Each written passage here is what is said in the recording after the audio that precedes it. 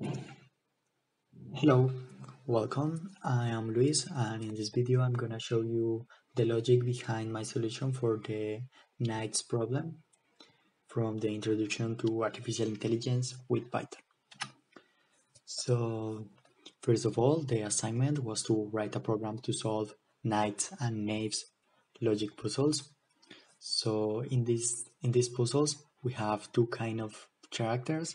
The first one is a knight and he, he always tells the truth. And the second one is the knave, they always lie. So the objective of the puzzle is given a set of sentences by each of the characters determined for each character whether the character is a knight or a knave. So as you can see, we don't know the, the roles for each character and we need to determine for each one depending on the sentences spoken. And to use that, we implement propositional logic with the following operators or and negation and implication. So let's go through the puzzles. The first puzzle presents one one character we who says I'm both a knight and a knave. However, by definition of the game, we know that each character is either a knight or a knave, but not both. So to include that rule, we use an exclusive OR. As you can see, the logic is written with OR, AND, and negations.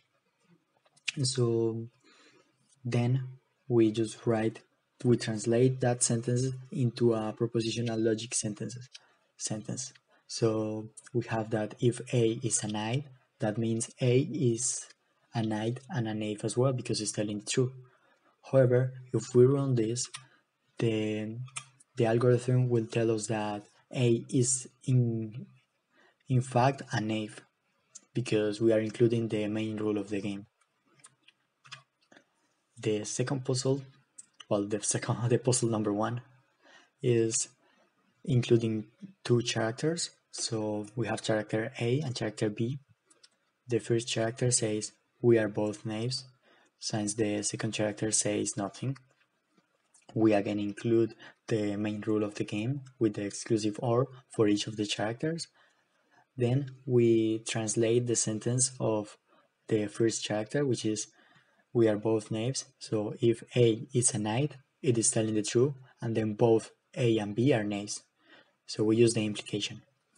And in the case of A being a knave, it is lying, and so they are not both knaves. That means, by definition, B is a knight. So we use the implication again. And if we run it with the program, uh, we will have that A is a knave and B is a knight.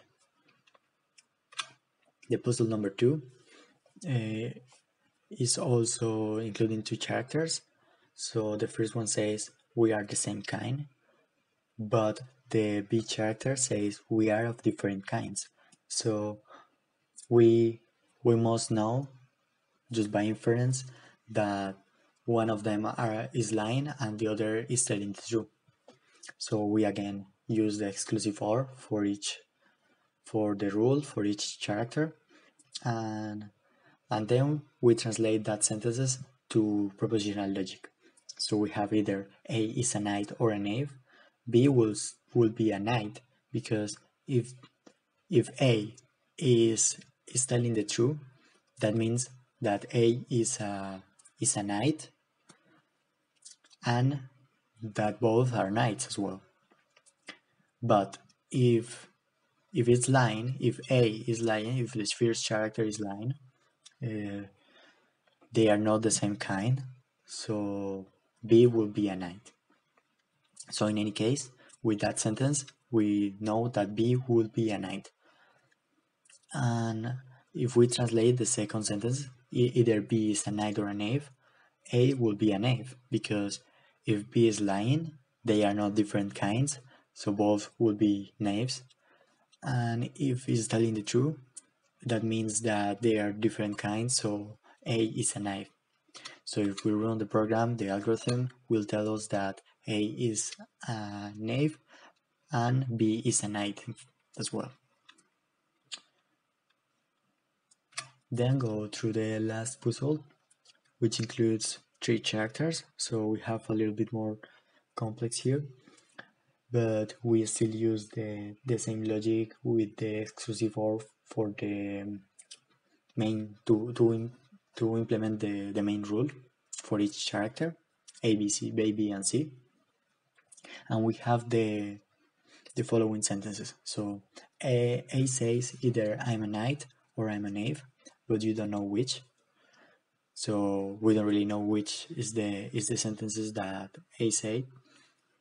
And then the second character says that A said I'm a knave, but also says that C is a knave. And the third, char the third character says A is a knight. So let's translate that translate that into a propositional logic sentence. So either A is a knight, a knight or a knave, A will say I'm a knight. B, so B is lying. So we here we do an implication with an OR operator in the first uh, part of the implication. So let's look at the at the first sentence again. Either A will be a knight or a knave, it will say always I'm a knight because if he's a, a knight and is telling the truth, he will always say I'm a knight. But if he or she or it is a knave, it will say the a lie, so it will say I'm a knight. So either A is a knight or a knave, A will say I'm a knight. So in that in that way, in that logic, B is lying with the first sentence. Then if B is a knave, we have that B lied with C is a knave, then C is a knight. Again, we use an implication. And the last sentence is that C says that the first character is a knight. So if C is a knight, is telling the truth, and so A is a knight as well.